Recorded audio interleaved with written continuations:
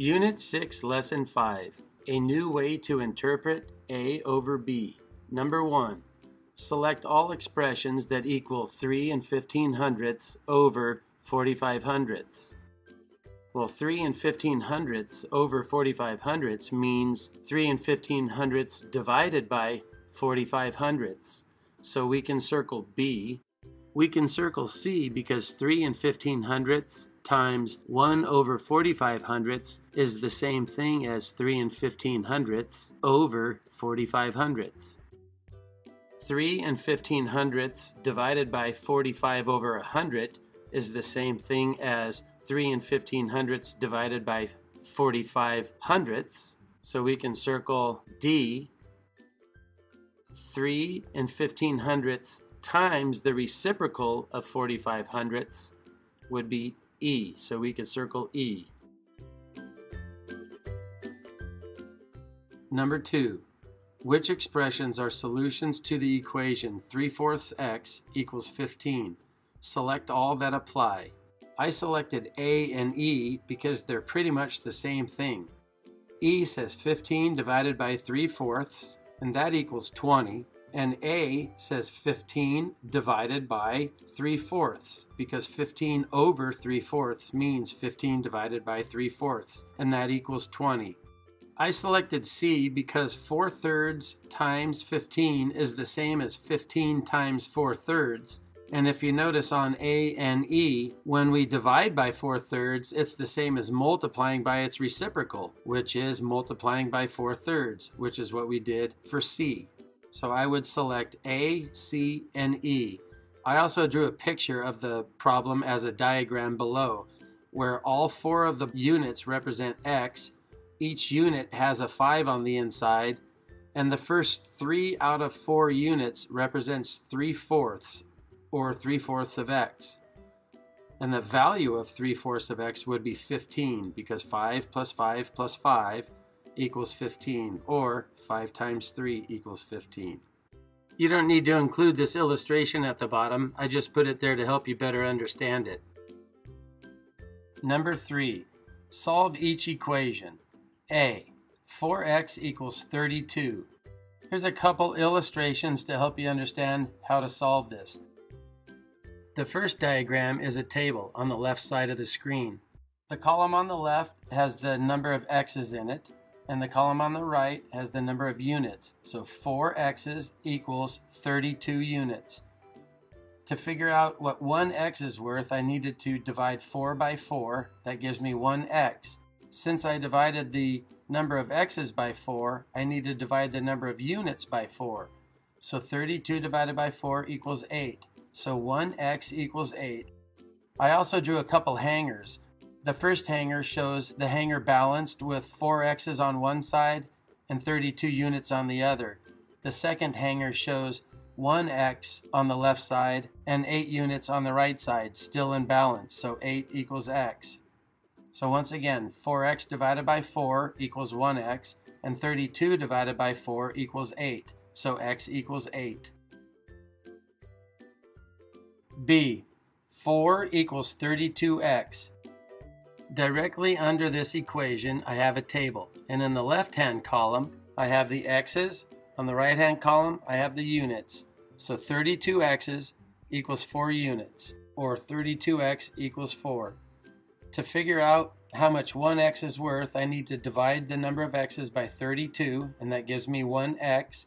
And I also need to divide the other side by 32. So 4 divided by 32 equals 1 eighth. So x equals 1 eighth. I also showed it as a hanger. 4 units on the left side is in balance with 32 x's on the right hand side. The hanger that has 1x on the right hand side is in balance with 1 eighth unit. x equals 1 eighth. C. 10x equals 26. So again, I have a table with the x's on the left side and the units on the right. 10 x's divided by 10 equals 1x. Since I divided that column by 10, I have to divide the other column by 10. 26 divided by 10 equals 2 and 6 tenths. So 1x equals 2 and 6 tenths. The hanger shows in balance 10 x's on the left and 26 units on the right. And underneath that, you see a hanger in balance with 1x on the left and 2 and 6 tenths on the right. X equals 2 and 6 tenths. D. 26 equals 100x. Again, in the table, I have the x's on the left and the units on the right. 100 x's divided by 100 equals 1x. I also have to divide the units by 100. 26 divided by 100 equals 26 hundredths. x equals 26 hundredths. I also represent this on the left with a hanger. 26 units is in balance with 100 x's. And below it, 26 hundredth units is in balance with 1x, so x equals 26 hundredths. Number 4. For each equation, write a story problem represented by the equation. For each equation, state what the quantity x represents. If you get stuck, draw a diagram. 3 fourths plus x equals 2. Well, I did draw a diagram, but first let me read my story. 3 fourths of a dollar plus the price of a drink totals $2. What is the price of the drink? Look on the left hand side of the diagram. I have four boxes in black. The first box is X'd out.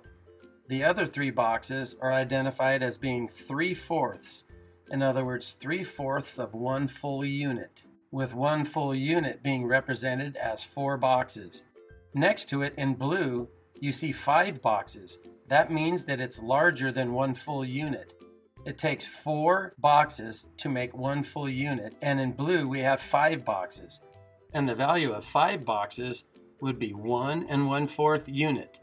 1 and one fourth unit added to the 3 fourths would be worth 2 full units.